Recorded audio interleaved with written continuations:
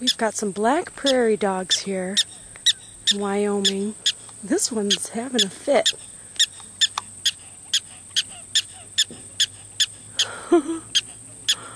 They're so cool. I didn't even notice. I was riding by on my bike.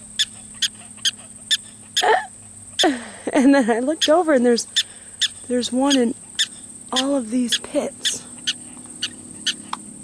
They each have their own little home. Where's this guy? There's another one. This is the only little booger that's squeaking.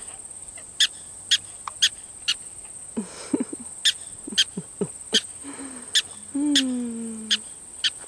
Yeah, isn't that cool?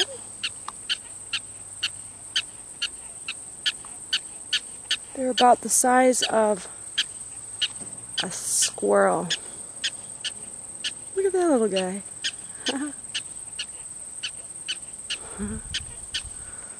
what? What? He must have babies or so. Oh.